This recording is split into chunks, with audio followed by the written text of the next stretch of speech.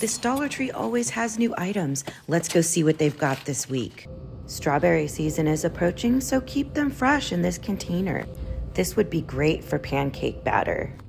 Check out these new spring tag style signs with beads. This cosmetic bag felt like it was great quality. Cool yourself down with this mini fan, and if it messes up your hair, don't worry because you can fix any flyaways with this product. For life quotes, make sure to check out the dish towel section. Avocado exfoliate with this. Get it? Okay, uh, yeah, never mind. Anyways, these are all really cute. Disney's body wash and bath fizzies for the littles. Exfoliate with these lip scrubbers and moisturize with Peeps flavored lip balm.